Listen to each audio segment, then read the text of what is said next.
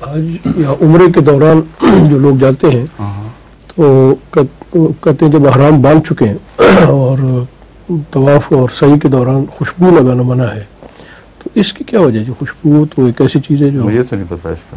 اچھا نہیں مانا ہے؟ طواف کتاب میں جو بھی طواف اور صحیح کے دوران۔ دوران؟ یعنی اس سے پہلے لگا کے تو اسے س- صحیح یہ دو باتوں میں فرق ہے نا؟ جی۔ دوران ہے یا پہلے لگانا کوئی منع ہے؟ پہلے لگانا منع ہے جی۔ ہیں؟ جی پہلے لگانا۔ اس کا ایک اس کی ایک حکمت تو سمجھ آ جاتی ہے۔ وہ وہ پتہ نہیں مراد ہے کہ نہیں لیکن وہ حکمت اور ہوگی۔ یہ حکمت یہ ہے کہ آج کل ایسے ایسے تیز عطر لگاتے ہیں عرب۔ جی۔ اور پتہ نہیں کیا وجہ ہے؟ جو مڈل ایسٹ کی جو قوت شامہ ہے جی۔ اس کا باقیوں سے کافی فرق ہے۔ جو عطر وہ بناتے ہیں خصوصیت سے عربوں کے لیے اور گلف وغیرہ کے علاقے میں ملتے ہیں۔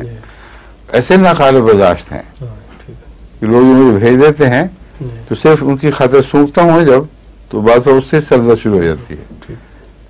بہت تکلیف دہ چیز ہے وہ۔ اور وہ جو بعض لوگ وہی عطر لا کے تو جانواز پہ لگا دیتے ہیں۔ ہوں۔ اور میں نے پھر باہر جا کے تاکید کی میں نے کہا کیوں مصیبت میں ڈالتے ہیں؟ واقعات بعض دفعہ سردر شروع ہو جاتی ہے اور وہ طبیعت بھاری ہو جاتی ہے اس سے۔ جب سجدہ میں جاؤ تو دعا کی طرف توجہ نہیں پوری جاتی وہ اتنا تیز اتر ناک کو چڑھتا ہے دماغ کو چڑھتا ہے۔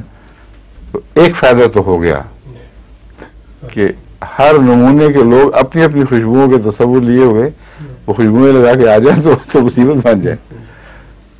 لیکن یہ ہرگز یہ مراد نہیں کہ یہی حضور کا مقصود تھا۔ میں ضمن کہہ رہا ہوں کہ اس اگر یہ رسول اللہ علیہ وسلم کا ارشاد ہے تو ایک فائدہ تو ہمیں اس کا یہ پہنچ گیا۔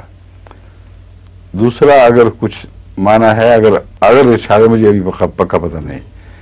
تو اس کا یہی مطلب ہو سکتا ہے کہ جو ماحول ہے دیوانگی کا اس سے یہ متضاد چیز ہے۔